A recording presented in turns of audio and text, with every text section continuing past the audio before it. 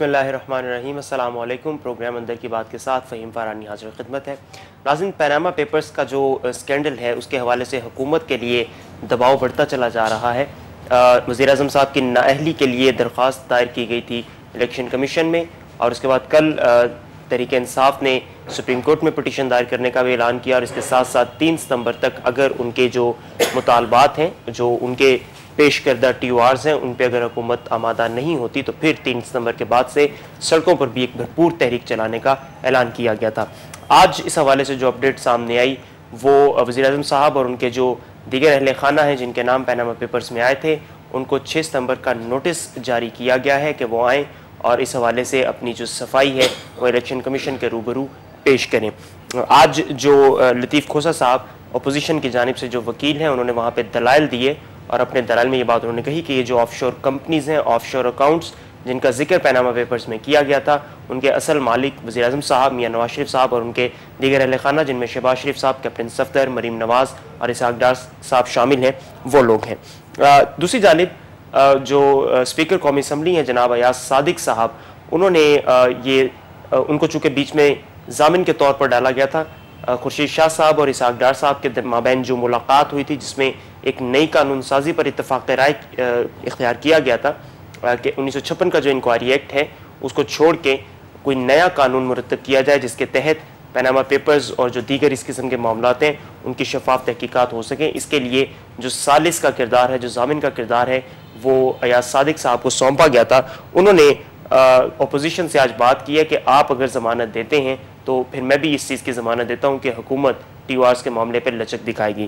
جبکہ دوسری جانب اعتزاز حسن صاحب اور لطیف خوصر صاحب نے جب میڈیا سے بات کی تو ان کا کہنا یہ تھا کہ ٹی او آرز کے اوپر اپوزیشن کا موقف وہی ہے کہ سب سے پہلے وزیر اعظم صاحب اور ان کے اہل خانہ کا بے لاگ احتساب ہونا چاہیے اور اس کے بعد معاملات آگے بڑھنے چاہیے۔ یعنی اپوزیشن کی جو بات ہے وہ ابھی وہیں پر ہی ہے جہاں پہ یہ جو معاملات تھے وہ منقطع ہوئے تھے۔ تو ایسے میں پھر نئی قانون سازی کی جانب بڑھنا اور اس کے لیے امید ظاہر کرنا، اس کے کیا معنی باقی رہ جاتے ہیں؟ اس پہ آج بات کریں گے۔ اس کے ساتھ ساتھ دوسرا بڑا اہم معاملہ پاکستان کے دفتر خارجہ کی جانب سے بھارت کو کشمیر کے اوپر مذاکرات کے لیے خط لکھا گیا تھا، جس کا آج دو روز کے بعد جواب آیا بھارت کی جانب سے، جس میں بھارت نے اپنے ایجنڈے کے تحت مسئلہ کشمیر کے اوپر مذاکرات کرنے کی بات کی ہے۔ اس کو خوشائن کہا جا رہا ہے کہ چلیں مذاکرات کی بات چلی، لیکن اس میں سوچنے والی بات یہ ہے کہ بھارت اگر اپنے ایجنڈے کے تحت بات کرنے کی بات کرتا ہے، تو بھارت کا ایجنڈا کیا ہے؟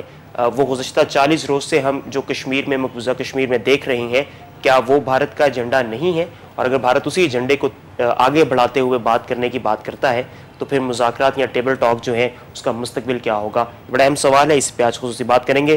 اسٹوڈیوز میں میرے ساتھ موجود ہیں سینئر صحافی تجزیہ گار جناب سعید آسی صاحب۔ سعید آسی صاحب بہت شکریہ and very warm welcome to the show آپ نے وقت نکالا ہمارے لیے۔ آسی صاحب پیناما پیپرز کا جو معاملہ ہے طول پکڑتا جا رہا ہے۔ پوری دنیا میں یہ شروع ہوا۔ میرا خیال پوری دنیا میں تو یہ دب بھی گیا۔ اب اس کی آواز بھی کنی لیکن پاکستان میں یہ بارہ لبی زندہ ہے۔ وزیر اعظم صاحب اور جو دیگر فریقین ہیں ان کو نوٹسز جاری کیے گئے ہیں الیکشن کمیشن کی جانب سے۔ اپوزیشن کے لیے کس قدر ہال مارک ہے کہ الیکشن کمیشن ان کو نوٹسز جاری اگر کرتا ہے تو؟ بسم اللہ الرحمن الرحیم۔ جس آپ نے تمہید باندھی ہے سارے پاناما ڈرامے کی تو اس میں ظاہر ہے ابھی ایک بات آ رہی ہے کہ نئی قانون سازی کی جائے۔ اس حوالے سے بھی اس کو ٹیک اپ کرنا چاہیے اس ایشو کو۔ لیکن بات یہ ہے کہ میں سمجھتا ہوں کہ اپوزیشن کو ایک بہانہ چاہیے ہوتا ہے۔ کوئی پوائنٹ سکور کرنے کا حکومت کے اگینسٹ اب تک کا آپ اگر اینالائز کریں موجودہ حکومت کے جو تین سال گزرے ہیں تین سال سے زیادہ عرصہ ہو گئے ابھی کوئی پونے دو سال باقی رہتے ہیں تو اس پورے عرصے میں حکومت کو اپوزیشن کی جانب سے ٹف ٹائم دینے میں کوئی کسر چھوڑی دیں گے اس میں ظاہر ہے پہلے عمران خان صاحب نے جو ٹیک اپ کیا ایشو وہ انتخابی دھاندلیوں کا تھا اسی بیس پر انہوں نے دھرنا تحریک چلائی اور کوئی دو ڈھائی مہینے تک وہ بیٹھے رہے پارلیمنٹ ہاؤس کے باہر طاہر القادر صاحب بھی ان کا ساتھ دیتے رہے۔ تو یہ سارے جو معاملات ہیں، اصل میں بات یہ ہے، جو سوچنے کی بات ہے، جو اس وقت انالائز کرنے کی بات ہے کہ ان کے پاس ایشوز ہیں کیا اپوزیشن کے پاس۔ کیا یہ ایشوز عوام کے جو ریئل پرابلمز ہیں، ان کو سالو کرنے والے ہیں یا ان کو الجھانے والے ہیں؟ یا حکومت کو صرف یعنی کہ ایک ٹف ٹائم دے کر ایک اپنی سیاست چمکانے والے ہیں؟ تو اس میں اگر ہم دیانتداری کے ساتھ تجزیہ کریں تو اس میں اب تک کی اپوزیشن کی جو سیاست ہے چاہے اس میں عمران خان پہلے تو تنہا تھے اب پیپل پارٹی بھی شامل ہے ان کے ساتھ اور یہ بھی ایک تضاد ہے ہماری سیاست کا کہ کل کے جو حلیف ہوتے ہیں اس لیے کہتے ہیں نا کہ سیاست میں کوئی حرف آخر نہیں ہوتا کہ جو کل کے حلیف ہوتے ہیں وہ آج کے حریف بن جاتے ہیں اور جو آج کے حریف ہوتے ہیں وہ کل آنے والے کل میں ایک دوسرے سے کے کندھے سے کندھا ملائے کھڑے نظر آتے ہیں۔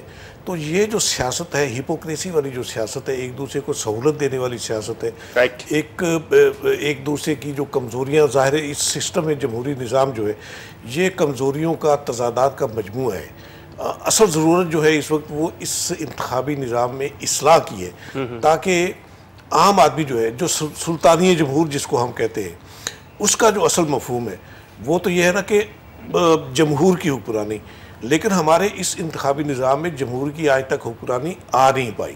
تو اصل ضرورت جو ہے، جو کرنے کا کام ہے، وہ انتخابی اصلاحات کے ذریعے سلطانی جمہور کے اصل مفہوم کو، اس کی روح تک تقویت پہنچا کر عوام کو مستفید کرنے کا ہے اس سسٹم سے، جو کسی حکمران نے آج تک کیا نہیں۔ ٹھیک ہے نا؟ انہوں نے نعرہ لگایا، عمران خان صاحب نے تبدیلی کا نعرہ لگایا، طاہر القاری صاحب انقلاب کی بات کرتے ہوئے آج دھمکے یہاں۔ لیکن اس کا آؤٹ کم کیا ہوا؟ اس وہ کچھ بھی سامنے نہیں ہے عوام کے سامنے کچھ نہیں ہے سوائے اس کے کہ انہوں نے بھی اپنی سیاست چمکانے کی کوشش کی پوائنٹ سکورنگ کی کوشش کی اور آگے کی جو نظر ہے ان کی سوائے اقتدار کے حصول اقتدار کے اور کچھ ہے نہیں۔ تو اس میں ظاہر ہے وہ ڈیفیوز ہوا ان کا وہ ایشو وہ ڈیفیوز اس طرح ہو گیا کہ وہ پشاور کا جو سانیہ ہو گیا اے پی ایس کا۔ تو اس کے بعد پھر انہیں مجبور ہونا پڑا، وہ دھرنا سمیٹ کر ایک یکجہتی کا اظہار کرنے پر۔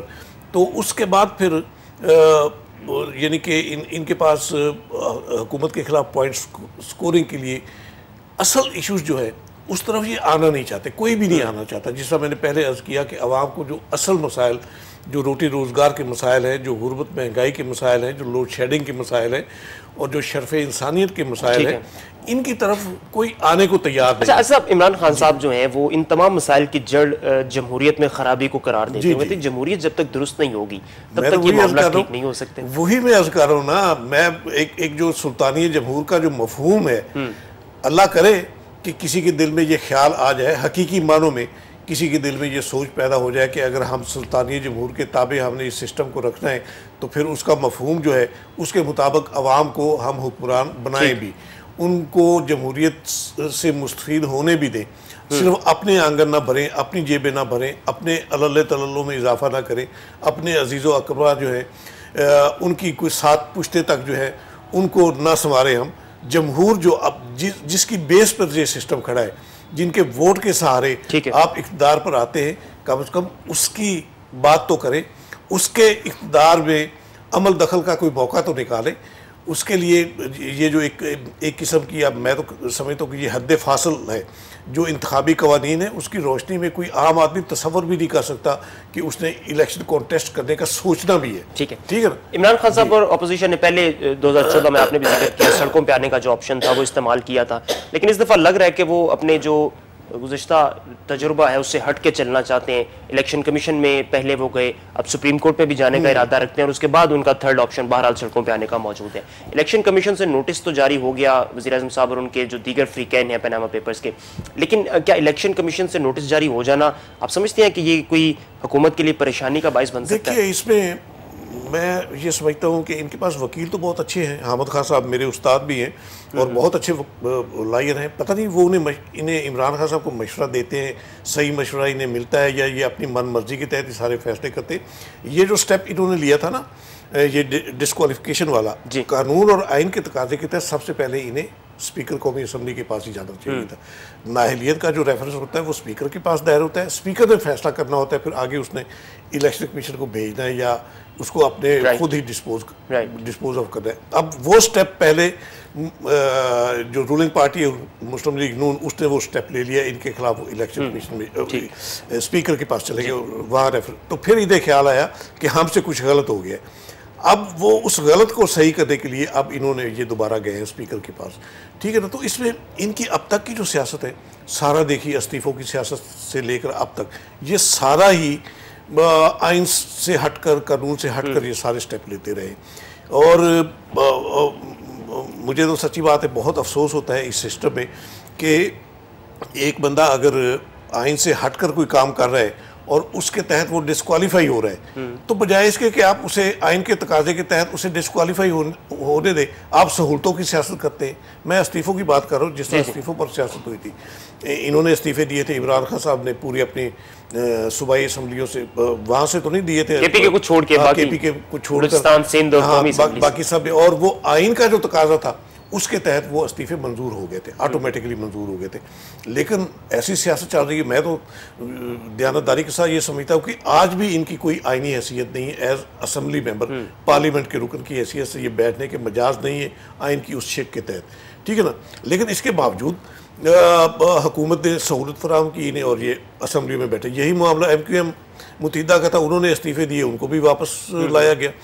تو یہ جو سیاست ہے نا یہ میں سمجھتا ہوں کہ یہ عوام کی خدمت کی سیاست نہیں ہے جمہوریت کو سسٹینتر کرنے کی سیاست نہیں ہے یہ سوائے اپنے مفادات کے اور اس کو ہم کوئی نام یہ ایک دوسرے کو سہولت دینے کی سیاست ہے باریاں لگانے کی سیاست ہے۔ جس طرح پیپلز پارٹی اور یہ مسلم لیگ نون نے ایک آپس میں انڈرسٹینڈنگ کی تھی معاہدہ کیا تھا۔ پہلے تو چارٹر آف ڈیموکریسی ہوا۔ پھر اس کے بعد پیپلز پارٹی نے مشرف کے ساتھ ایک معاہدہ کیا، ٹھیک ہے نا؟ تو یہ سارے جو معاملات ہیں، اس میں سیاست کی جو پیورٹی ہے سسٹم کی جو فوائد ہیں ان کو نقصان پہنچانے کی کوشش کی جاتی ہے۔ تو اس میں میرا نہیں خیال کہ اب یہ سیاست اس وقت ہو رہی ہے۔ آپ نے پاناما لیکس کا ذکر کیا وہ ابھی تک رگیدے چلے آ رہے ہیں۔ پوری دنیا میں یہ ایشو سیٹل بھی ہو گیا وہ آرام سے بیٹھ بھی گیا اور ہم اس کا وہ ہاتھی کی دم پکڑ کر بیٹھے ہوئے ہیں اور چل رہے ہیں آگے۔ تو اس سے کیا آؤٹ کم کیا ہونا ہے؟ ٹھیک ایک بریک کے جانے مجھے بڑھنا ہے ناظرین۔ بریک سے واپس آئیں گے تو بات کریں گے ذرا اپوزیشن کی متحدہ اوپر کی جو ٹی او آرز پہ لچک دکھانے کو تیار نہیں ہے۔ اگر ٹی او آرز پہ لچک نہیں دکھائیں گے تو پھر کیا حالات ہو جائیں گے اور معاملات کس طرف کو بڑھیں گے، بات کریں گے اس پہ چھوٹے سے بریک کے بعد. سٹے ود اس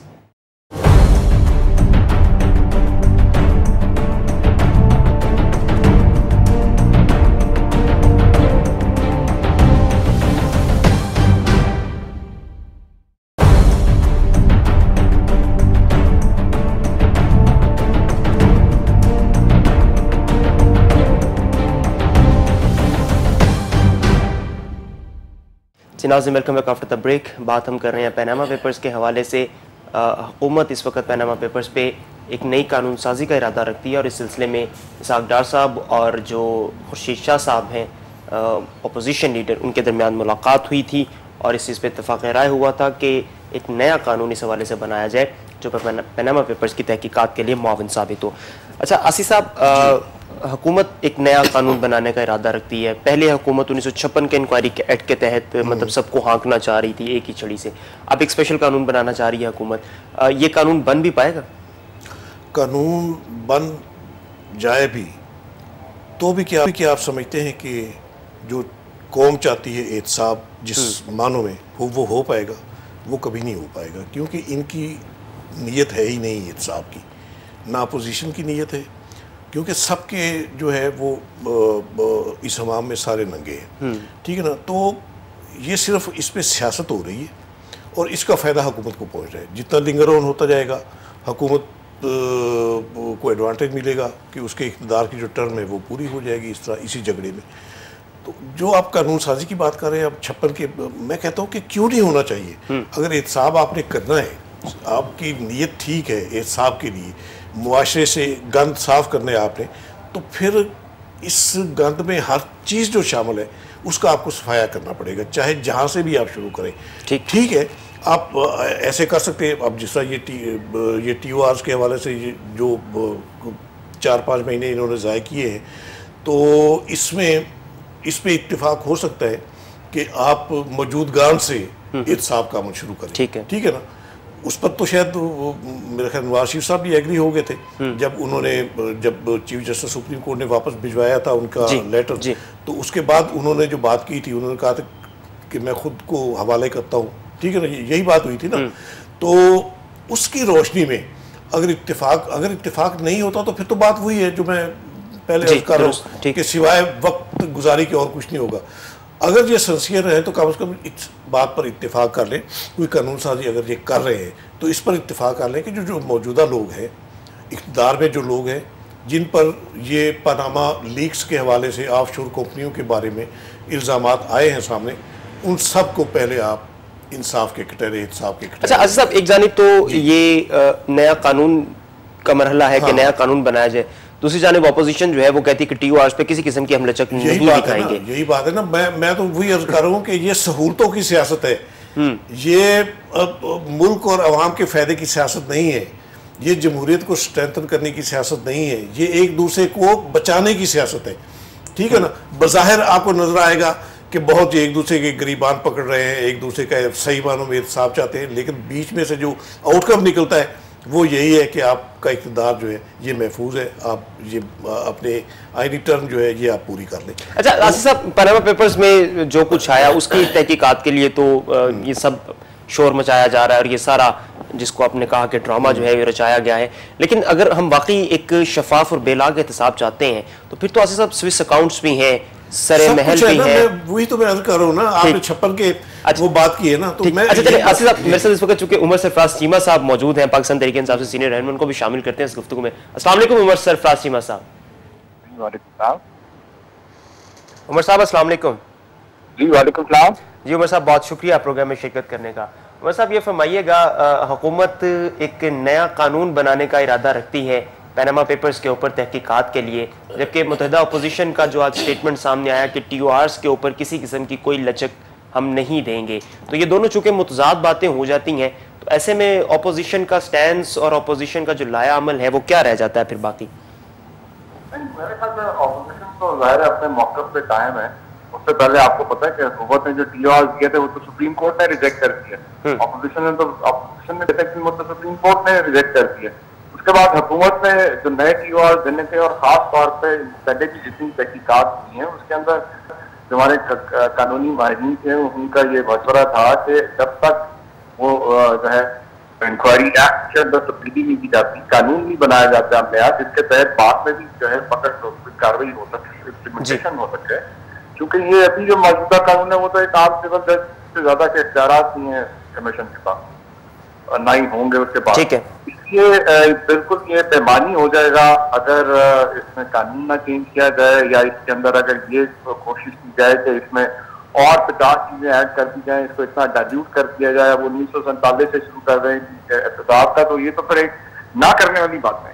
جبکہ آپ کو بھی پتا ہے کہ تمام جو اس وقت بحث ہے جو ایشو اس وقت ان ہینڈ ہے وہ پاناما لیکس کے اندر جو صاحب یہ جیسے آپ نے کہا کہ نہ کرنے والی بات ہے اگر سب بلا بلا امتیاز۔ احتساب کے حوالے سے جو ہے ساری ڈیمانڈ ہے کے سب سب کے احتساب کی جب بات کی جاتی ہے تو یہ ایک تاثر تحریک انصاف کے حوالے سے سامنے آ جاتا ہے کہ تحریک انصاف نے اپنی تمام تر توانائیاں جو ہیں وہ صرف فرد واحد کے لیے مختص کر دی ہیں۔ یعنی صرف نواز شریف صاحب اور ان کے جو اہل خانہ ہیں ان کے احتساب کے لیے تحریک انصاف صرف آواز بلند کرتی ہے؟ نہیں یہی تو پروپیگنڈا ہے۔ جو ماضی میں بھی یہ لوگ کرتے رہے، جب بھی آپ کو یاد ہے پیپلز پارٹی جب بات کرتی تھی ان کی کرپشن کی، تو یہ بھی تم بھی تم بھی کی رٹ لگا کے سارا معاملہ جو ہے رفع دفع کر دیتے تھے۔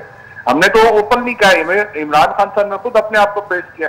کہ جناب، جو ٹی آر ہم کہہ رہے ہیں، انہی ٹی آر کے تحت جہاں نواز شریف صاحب یا باقیوں کا ہم احتساب چاہتے ہیں، وہاں عمران خان کا بھی کریں۔ ہم نے یہ تو نہیں کہا کہ طریق صاحب کی قیادت کا بالکل احتساب نہ کریں اور باقیوں کا احتساب کریں۔ جس- اگر کسی نے بھی کوئی غلط کوئی کام کیا ہے کوئی کرپشن میں کوئی انوالو ہے تو اس کا بالکل اسی قانون کے تحت احتساب ہونا چاہیے جس طرح باقی جماعتوں کے لوگوں کا ہونا چاہیے۔ ٹھیک چلیں بہت شکریہ جناب عمر سرفراز چیمہ صاحب آپ ہمارے ساتھ موجود تھے۔ اچھا عزیز صاحب یہ عمر سرفراز چیمہ صاحب نے جس طرح کی کہ آ، یہ بالکل غلط ایک پروپیگنڈا ہے کہ ہم صرف نواز شریف صاحب اور چند- مخصوص لوگوں کے احتساب کی بات کرتے ہیں۔ وہ کہتے ہیں جی عمران خان صاحب تو کہتے ہیں کہ سب کا اوپنلی جو اکاؤنٹیبلٹی ہے وہ ہونی چاہیے۔ جہانگیر ترین صاحب کے لیے بات کی جاتی ہے تو عمران خان صاحب فوراً ڈیفینڈ کرنے کے لیے ان کو سامنے آ جاتے ہیں۔ تو اگر خان صاحب جو ہیں وہ ایک اوپن اکاؤنٹیبلٹی چاہتے ہیں، تو میرا خیال کیا ان کو اس طرح آگے آگے فرنٹ فٹ پہ کرنا چاہیے اس طرح؟ بات یہ ہے چیمہ صاحب نے کہہ تو دیا کہ ہم سب کے احتساب کی بات کرتے ہیں، لیکن پھر ہوتا کیا ہے؟ جب سیاست چلتی ہے نا تو پھر مفاہمتیں وہ حائل ہو جاتی ہیں درمیان میں۔ انہوں نے واقعی تحریک انصاف نے عمران خان صاحب نے پہلے بہت پیپل پارٹی کی قیادت کو رگیتے رہے اور خاص طور پہ یہ جو تھے یہ سوئس کیسز کے حوالے جی۔ سے عمران خان صاحب نے یہ اعلان بھی کر دیا تھا کہ میں وہاں جا کر کیس لڑوں گا۔ ٹھیک ہے نا؟ لیکن اس کے بعد کیا ہوا؟ اب یہ دونوں یعنی کہ چاچا بتیجا جو ہے وہ کنٹینر پہ اکٹھے ہونا چاہتے ہیں۔ تو جب اکٹھے ہوں گے آپ تو پھر احتساب کس کا کریں گے آپ؟ کس کی بات کریں گے آپ؟ ٹھیک ہے نا؟ تو یہی جو ہپوکریسی ہے نا اس وجہ سے ہی احتساب کا عمل آگے نہیں بڑھ رہا۔ اصولی طور پر ہونا تو چاہیے تھے کہ کم از کم احتساب کا عمل چلنے تو دیں آپ جیسے تیسے جس طرح بھی ہے کسی بات پر اتفاق تو کر لیں۔ یہ احتساب کس ٹرمز آف ریفرنس کے تحت ہونا ہے یہ بات بھی چلتی رہے گی۔ جب ایک بار احتساب کا پہیہ چلنا شروع ہو جائے گا تو میرا خیال ہے پھر وہ رکے گا نہیں۔ ٹھیک ہے نا؟ کس فورم پر کرنا ہے؟ یہ بھی کوئی کوئی ایسا الجھانے والا مسئلہ نہیں ہے۔ جہاں آپ مسئلہ اس وقت ابھی کل میں اسحاق ڈار صاحب کی سٹیٹمنٹ دیکھ رہا تھا۔ انہوں نے کہا کہ ہم نے تو احتساب شروع بھی کر دیا ایف بی آر کے تھرو۔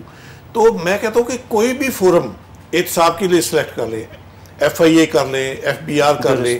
اگلیا کا کوئی کمیشن بنا لے کوئی انکوائری یا جوڈیشل کمیشن کر لے لیکن احتساب چلنے تو دے آپ۔ ابھی تو اس کی کوئی کوئی شکل نہیں بن پا رہی۔ آپ ٹی او آر پر اڑے ہوئے آپ بزد ہے کہ ہم نے جو T R T O R دے دی ہے اس سے تو ایک انچ بھی ہم پیچھے ہٹنے کو تیار ہیں تو پھر اس طرح کیسے چلے گا احتساب ٹھیک ہے نا؟ آپ نئی قانون سازی کی بات کر رہے ہیں تو اس میں کچھ نہ کچھ تو کوشن دینا پڑے گا اچھا اسد صاحب آپ ماشاءاللہ چونکہ ایک بڑا وسیع تجربہ اور بڑی گہری نظر رکھتے ہیں معاملات پہ مجھے تھوڑا سا انالیٹکلی بتا دیجیے گا اس سب کا اینڈ آپ کیا دیکھتے ہیں؟ اس کا اینڈ کچھ بھی نہیں سوے فرسٹ کریٹ کرنے کے اور کچھ اس کا آؤٹ کم نہیں ہے کوئی اس کا اینڈ نہیں ہے۔ یہ اسی طرح چلاتے رہیں گے۔ جنہوں نے اینڈ کرنا ہوتا ہے انہوں نے کر لیا ہوا ہے۔ دوسرے ممالک کی مثال ہے نا سامنے۔ انہوں نے سارے اپنے ایشو سیٹل کر لیے نا۔ جیسے بھی ہوا کسی نے ریزائن کیا کسی نے کچھ کیا اپنے خود کو احتساب کے لیے پیش کیا تو انہوں نے اپنے معاملات سیٹل کر لیے۔ یہ ہوتی ہے ایک سسٹم کی برکات ٹھیک ہے نا؟ جو انہوں نے کر کے دکھائی دوسرے دوسرے ملکوں نے۔ لیکن ہم اس پر وہی جیسے میں نے پہلے عرض کیا کہ ہم وہ ہاتھی کی جو دم ہے وہ پکڑ کر گھسیٹے چلے جا رہے ہیں تو اس سے کچھ بھی نہیں نکلے گا۔ ہوگا یہ کہ ایڈوانٹیج جو ہے وہ رولنگ پارٹی کو ہوگا اس کی اقدار کی ٹرن پوری ہو جائے گی۔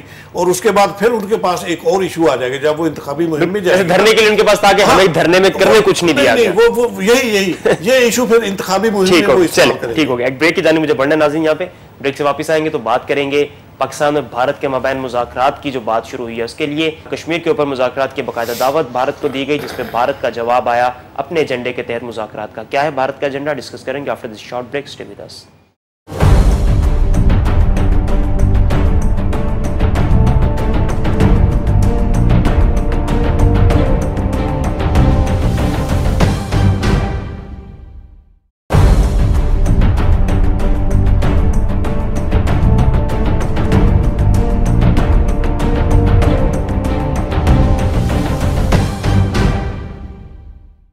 جی ناظرین welcome back after the break once again بات اب ہمیں کچھ کرنی ہے پاکستان و بھارت کے مابین مذاکرات کی بات جو شروع کی گئی ہے اس کے حوالے سے۔ آسی صاحب ہم نے خط لکھا بھارت کو مذاکرات کے لیے کشمیر کے اوپر۔ دو دن بعد آج بھارت کا جواب آیا کہ جی اپنے ایجنڈے کے تحت ہم مذاکرات کرنے کے لیے تیار ہیں۔ یہ جو بھارت نے اپنے ایجنڈے کے تحت کی بات کی ہے یہ کیا اس کو تھوڑا سا الیبوریٹ کیجیے۔ دیکھیے میں یہ سمجھتا ہوں کہ ہماری طرف سے جو خط لکھا گیا ہمارے سیکٹری خارجہ اعزاز چوری صاحب نے جو خط لکھا ہے وہ ہماری ایک ڈپلومیسی کا حصہ ہے۔ حالانکہ یہ سب کو پتہ ہے کہ نہ مذاکرات ہونے ہیں انڈیا کے ساتھ نہ انڈیا نے کبھی آمادہ ہونا ہے۔ لیکن ایک اس وقت چونکہ ایک پریشر بلڈ ہو چکا ہے انڈیا پہ جی۔ عالمی برادری کا عالمی قیادتوں کا اور انسانی حقوق کے جو عالمی ادارے ہیں جو جو بروٹلزم مقبوضہ کشمیر میں کشمیری عوام کے ساتھ کیا جا رہا ہے تو اس کی روشنی میں جتنا پریشر اس وقت بلڈ ہو چکا ہے میں سمجھتا ہوں کہ یہ مسئلہ جو ہے اب مذاکرات کے ذریعے تو کبھی حل ہونے کا نہیں ہے لیکن ایک راہ ہموار ضرور ہو گئی ہے اس سے اس پریشر سے کہ اب آگے جو ہے نا next month you N general assembly کا سالانہ اجلاس ہونا ہے جی۔ ستمبر میں ہوتا ہے جی، جی۔ تو اس میں یہ سب نے اکٹھے ہونا ہے، مودی نے بھی ہونا ہے، وہاں ہمارے پرائم منسٹر بھی ہوں گے، دوسری عالمی قیادتیں بھی وہاں ہوں گی۔ تو اس وقت جو پریشر ڈیولپ ہو گیا ہے انڈیا پہ، مسئلہ کشمیر کے حل کے لیے خاص طور پہ، اور جس طرح وہ کہا جا رہا ہے انہیں کہ آپ انسانی حقوق کو وائلیٹ کر رہے ہیں جس طرح یعنی کشمیری نوجوانوں کو جس بے دردی کے ساتھ شہید کیا جا رہا ہے اور انہیں وہ پیلٹ فائرنگ کے ذریعے انہیں اپاہج کیا جا رہا ہے اندھا بنایا جا رہا ہے تو اس سے ایک ہمدردی کا جو ایلیمنٹ ہے وہ ادھر آیا ہے کشمیری عوام کی جانب۔ لیکن عزیز ایک آواز اٹھی ہے۔ جی۔ بھارت نے عالمی دباؤ کی کبھی پرواہ کی ہے کیا؟ نہیں نہیں پرواہ نہیں کرتا وہ۔ لیکن وہ اس دباؤ کو، اس کا رخ موڑنے کی کوشش، ہر بار ایسا ہوتا ہے۔ جب بھی دباؤ پڑتا ہے، اس- پر تو وہ ایک مذاکرات کا شوشہ چھوڑتا ہے۔ ٹھیک ہے؟ پورے آپ ہسٹری آپ دیکھ لیں۔ یہ کشمیر ایشو جب سے شروع ہوا ہے سوری میں جس سے پہلے آپ کو بتا رہا تھا کہ جب سے یہ کشمیر ایشو شروع ہوا ہے تو کوئی دو سو بار مذاکرات کی ٹیبل سجائی گئی ہے پاکستان اور۔ انڈیا کے درمیان۔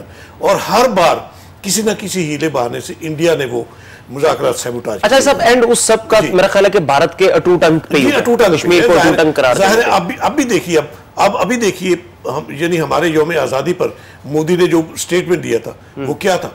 وہ تھا اس نے یہ ایک بڑ ماری کہ بہت جلد ہمارا ترنگا جو ہے وہ آزاد کشمیر پر بھی لہرائے گا۔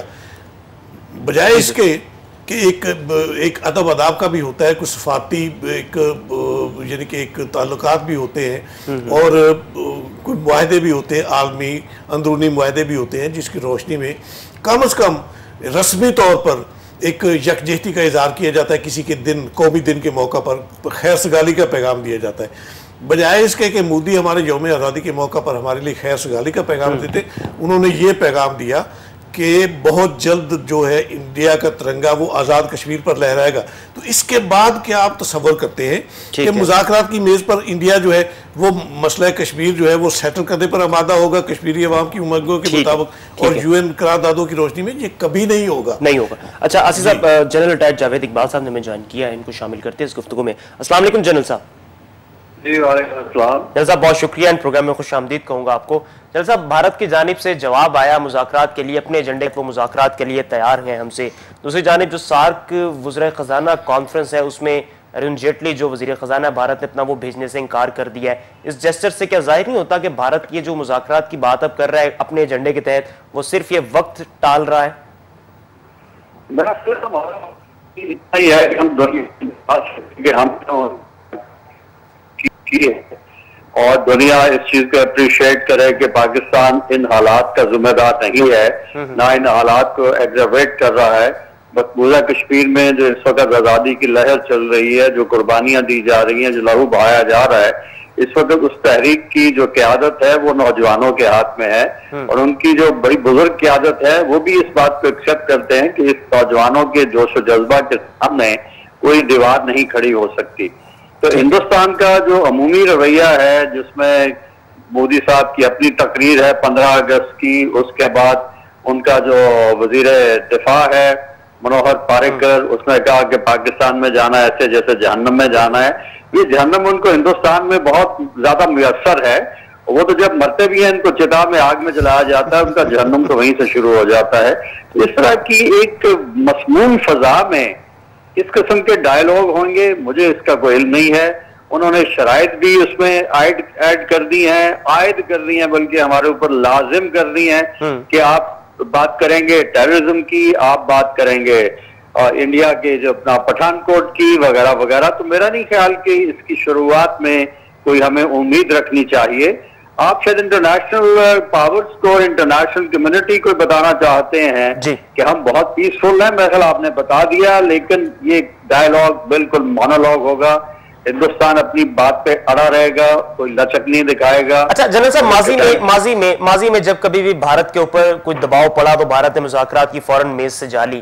لیکن اس دفعہ مقبوضہ وادی کے جو حالات ہیں کیا آپ سمجھتے ہیں کہ بھارت کا یہ جو اس دفعہ مذاکرات والا ڈرامہ ہے وہ مقبوضہ وادی میں جو بھارت کے ظلم و بربریت ہے اس پہ پردہ ڈال دے گا یا جو پریشر ہے اس کو نیوٹرلائز کر دے گا؟ جی ہمارا یہ بائی دا وے یہ جو مذاکرات کی دعوت پاکستان نے دی ہے۔ جی۔ پاکستان کا جو ایک نوبل ایم ہے جو مجھے نظر آتا ہے وہ یہ ہے کہ کسی طرح سے یہ جو کرفیو لگا ہوا ہے چالیس دن سے کسی طرح یہ جو پیلٹ گنز کا استعمال ہو رہا ہے ہیومن رائٹس کی بیسک جو رائٹس ہیں ان کی وائلیشن ہو رہی ہے مظالم ہو رہے ہیں تو یہ مذاکرات سے بھی ایک اس ایشو کو انٹرنیشنلائز کیا جائے گا۔ انٹرنیشنل میڈیا اس کو پک اپ کرے گا کہ پاکستان نے انیشیٹو لیا۔ ہم نے ہم دردی کے تحت انیشیٹو لیا لیکن مجھے کسی قسم کی امید نہیں ہے۔ کہ انڈیا اس میں کوئی سبسٹینشل بات کرے گا انڈیا اس میں کوئی ریکنسیلیشن کی بات کرے گا۔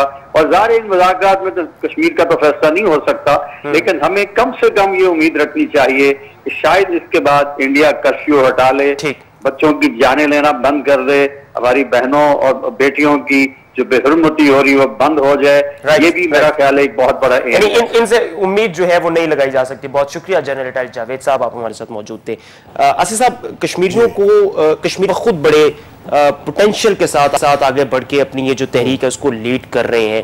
پاکستان یا بھارت اس دفعہ اگر مذاکرات کر بھی لیتے ہیں تو کیا کشمیریوں کے اندر جس وقت ایک ولولہ چل رہا ہے وہ اسے ٹھنڈا تو نہیں ہوگا نا؟ اس میں ابھی ہمارے محترم جاوید اقبال صاحب تھے۔ جی جی۔ تو انہوں نے جو بات کی نا کہ شاید ہماری طرف سے جو مذاکرات کی پیشکش کی گئی ہے وہ اس مقصد کے تحت ہے کہ وہاں کوئی جو مظالم ہو رہے ہیں کرفیو کے دوران ان کو وہ پریشر ریلیز ہو جائے۔ میں نہیں سمجھتا کہ ایسی بات ہے۔ اچھا۔ میں یہ سمجھتا ہوں کہ یہ بہت درست اسٹریٹجی کے تحت پاکستان نے مذاکرات کی اس حوالے سے پیشکش کی ہے۔ یہ سامنے رکھ کر کہ انڈیا نے اس پر آبادہ نہیں ہونا۔ نہ کبھی وہ ہوتا ہے۔ کم از کم دنیا کو تو یہ میسج جائے گا نا کہ ہم تو اس حالت میں بھی اس وقت جو ٹینشن اس نے کی ہوئی ہے ہماری سرحدوں پر اس نے ٹینشن کریٹ کی ہوئی ہے بلا اشتعال فائرنگ کرتا ہے۔ اس کے باوجود ہم امن کے مقصد کے لیے اس خطے میں امن کے مقصد کے لیے انڈیا کے ساتھ مذاکرات کی میز پر بیٹھنا چاہتے ہیں۔ تو یہ ہمارا پلس پوائنٹ ہوگا۔ انڈیا نہیں مانے گا دنیا کو ایک اور میسج آئے گا کہ دیکھیے انڈیا کی ہر درمی جو ہے وہ ادھر بھی مظالم کر رہے ہیں اور ادھر بھی جو ہے ہم آدھا رہے ہیں مذاکرات کی میز پر بیٹھ کر اس ایشو کو سیٹل کرنے میں۔ جہاں تک بات میں مسئلہ ایک عرض کر ہوں جہاں تک بات ہے کرفیو والی کیا کرفیو کو کشمیری نوجوانوں نے قبول کیا ہے کیا وہ باہر نہیں نکل رہے؟ اس کرفیو کے باوجود وہ سینے تان کر بھارتی فوجوں کے سامنے نہیں آ رہے۔ کیا وہ ایک جذبے کے تحت شہادتیں پیش نہیں کر رہے؟ تو اس کرفیو کی حیثیت کیا ہے کشمیری عوام کے سامنے؟ تو میں تو یہ سمجھتا ہوں کہ جتنا وہ انڈیا مظالم کے ہتھ کنڈے استعمال کرے گا جتنی بھی یعنی کہ انتہا کرے گا جس طرح یہ پیلٹ فائرنگ کے ذریعے جی۔ کر رہے ہیں تو اس کا ایک امپیکٹ جو ہے وہ دنیا پر جس طرح ایک میں نے پہلے پریشر کی بات کی کہ یہ پریشر انڈیا پر ڈیولپ ہو رہا ہے تو یہ جتنا بھی یہ مظالم کرے گا جتنے بھی سختیاں کرے گا تو اس کا ایک ایڈوانٹیج جو ہے وہ کشمیری عوام کی جو جہد ہے وہ اس کی مسکل قریب لانے کے مستاق ہے وہ۔ ٹھیک ہے۔ جی۔ اچھا عزیز صاحب ہم نے کشمیر پہ ہماری جو پالیسی ہے وہ ہمیشہ سے کوئی اتنی مؤثر نہیں رہی۔ کمزور رہی ہے کمزور اس کو کہا جاتا رہا ہے۔ لیکن اس دفعہ جس طرح وزیر اعظم صاحب اور پھر دیگر جو پاکستان کے وزارت خارجہ کی جانب جو سٹیٹمنٹ سامنے ہے وہ اشارہ دیتے تھے کہ پاکستان نے اپنی پالیسی تھوڑی سی بدلی ہم نے قوم متحدہ میں بھی آواز اٹھائی ڈوزیئرز بھی بھارت کے خلاف جی، پیش کیے تھے۔ اب مذاکرات کا اختتام تو جیسے آپ نے بتا دیا جنرل صاحب نے بتایا کہ اس سے کوئی امید نہیں ہے۔ ہاں، بھارت اس کو ٹوٹن کہہ کے ختم کر دے گا۔ لیکن اس کے بعد کیا ہماری یہ جو پالیسی ہم نے شروع کی ہے اس میں کنسسٹنسی نظر آتی ہے آپ کو؟ انشاءاللہ اس میں بالکل ہوگی۔ اس بار اگر انہوں نے یعنی کہ بیک فٹ پر آئے تو یہ ہماری تباہی ہے۔ اس کے بعد ہمارے سروائیول کا کوئی چانس نہیں ہے۔ ٹھیک ہے نا؟ وہ کشمیر کے تو درپے ہے جیسا مودی نے کہا کہ ہم آزاد کشمیر پر بھی ترنگا لہرائیں گے۔ اس کے جو عزائم ہیں وہ پاکستان پر ایک نئی جنگ مسلط کرنے والے عزائم ہیں۔ اس کے بعد کیا اس کا نتیجہ ہوتا ہے؟ وہ بھی دنیا کے سامنے دنیا کو فکر بھی اسی بات کا ہے کہ اگر اس بار ان دونوں کے درمیان جنگ چھڑی تو دونوں ایٹمی طاقتیں ہیں۔ پھر کچھ نہیں بچے گا پھر۔ ٹھیک ہے نا؟ دنیا کی تباہی ہوگی پھر۔ اسی تفکر میں عالمی قیادتیں جو ہے وہ انڈیا پر پریشر ڈال رہی ہیں کہ آپ امن کی طرف آئیں۔ انڈیا نے نہیں آنا اس کی جنونیت جو ہے وہ اس کا تو ایک ایجنڈا ہے کہ اس نے پاکستان کی سالمیت خدا نہ کرے ختم کرنی ہے۔ وہ ایک کریڈٹ لینا چاہتے ہیں۔ جس طرح اندرا گاندھی نے ایک کریڈٹ لیا تھا سیونٹی ون میں سکوت ڈھاکہ کی شکل میں اور بڑا اس نے فخریہ اعلان بھی کیا تھا کہ میں نے آئے نظریہ پاکستان جو ہے وہ وہ گنگا میں ڈبو دیا ہے۔ جی، جی۔ تو یہ اس کریڈٹ کے مقابلے میں اپنا کریڈٹ خدا نہ کرے پاکستان کی سالمیت کو ختم کرنے کا لینا چاہتے ہیں۔ یہ اسی اسی کی طرف یہ بڑھ رہے ہیں مودی صاحب جو ہے تو کوئی خیر کی توقع ہمیں نہیں رکھنی چاہیے۔ ہمیں اپنی جو پالیسی ہے اس پر کاربند رہنا چاہیے۔ اس وقت یہی ایک یعنی کہ رے آف ہوپ آپ کہہ لیں وہ یہی ہے کہ کشمیری نوجوانوں نے جو تیسری نسل ہے انہوں نے اتنا ٹیمپو بڑھا دیا ہے اتنا یعنی کہ لائم لائٹ میں لیا ہے کشمیر کے ایشو کو کہ اب اس سے دنیا کی توجہ بھی نہیں ہٹ سکتی۔ اب جیسا میں نے پہلے عرض کیا جی، کہ نیکسٹ جی۔ منتھ جو ہے جنرل اسمبلی کا اجلاس آنا ہے سالانہ اجلاس اس میں انشاءاللہ کچھ نہ کچھ ہو کے رہے گا۔ انشاءاللہ مجھے پوری امید ہے کہ جس طرح انڈیا ہزیانی کیفیت میں مظالم توڑ رہا ہے اگر یہ سلسلہ اس نے برقرار رکھا میں تو کہتا ہوں کہ ٹھیک ہے قربانیاں دے رہے ہیں کشمیری نوجوان۔ اس میں تھوڑی سی آپ بے شک کہیں کہ صفاقی والا عنصر بھی ہے۔ میری طرف سے۔ لیکن میں کہتا ہوں کہ اس وقت جو ٹیمپو کشمیری نوجوانوں کی قربانی سے پیدا ہوا ہے اس ٹیمپو میں کبھی نہیں پیدا ہونے چاہیے۔ اچھا آسی صاحب عالمی عالمی برادری کو کیا سمجھتے ہیں کہ ہم نے اپنا ہم نوا بنا لیا ہے کشمیر کاز کے اوپر؟ کیونکہ امریکی وزارت خارجہ کی جو ترجمان ہے ان کا بیان اگر دیکھیں تو ان کا پاکستان میں بھارت کو مل کے جی۔ کشمیر کا کوئی حل ڈھونڈنا چاہیے۔ جی، یعنی جی۔ کوئی وہی ایک روایتی بیان جو امریکہ ہمیشہ سے کشمیر پہ دیتا ہے وہ ہے۔ حالانکہ اس دفعہ تو حالات متقاضی اس بات کہتے ہیں کہ اس سے کوئی دو قدم بڑھ کے بیان جی آپ صحیح کہہ رہے ہیں۔ اصل میں یہ جو ایک گٹ جوڑ ہے نا انڈیا اور امریکہ کا اس کے اپنے مقاصد اور مفادات ہیں۔ اس گٹھ جوڑ میں ظاہر ہے وہ سائیڈ لیتا ہے انڈیا کی۔ اس کے پرڈے پہ اپنا وزن ڈالتا ہے اور وہ ڈالے گا وزن۔ ٹھیک ہے نا اس میں اس کے اپنے امریکہ کے اپنے جو ایجنڈا اس نے طے کیا ہوا ہے اس خطے میں ایک انڈیا کی تھانیداری قائم کرنے کا۔ لیکن اس وقت عالمی برادری جو ہے وہ یک جہت ہے۔ اور بہت فعال ہماری سفارتکاری جو ہے بہت فعال رہی اس بار۔ کنونس کیا ہے انہوں نے۔ جس طرح سفرہ کی کارسس برائی تھی اس کے تحت بہت ایک ایڈوانس ملا ہے۔ ایسا وقت اختتام کو پہنچا پروگرام کا۔ بہت بہت جی، شکریہ آپ نے فرمائی۔ ناظرین پروگرام آپ نے ملاحظہ کیا، امید کرتے ہیں کہ آپ کو پسند آیا ہوگا۔ اپنے وقت سے ضرور آگاہ کیجیے گا۔ فی الحال ہمیں اجازت دیجیے، اپنا خیال رکھیے گا۔ اللہ حافظ، اللہ سے